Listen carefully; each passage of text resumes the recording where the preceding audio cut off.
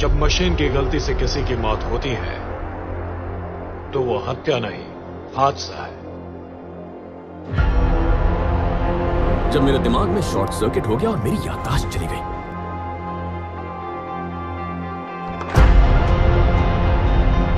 इंसानों के लिए जो पहले मुमकिन नहीं था वो सब आज मुमकिन है।